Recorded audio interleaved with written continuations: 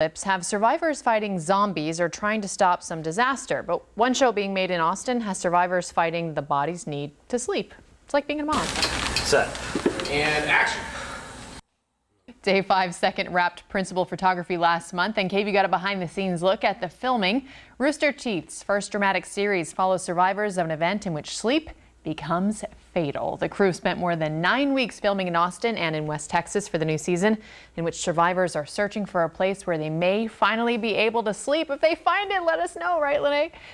Co-creator and executive producer Josh Flanagan said the new season would answer some of the burning questions left behind after the show's first season, questions that even members of the cast have wanted to answer. When I finally watched the entire first season and got to the, the end episode, I was enraged because I didn't have enough answers.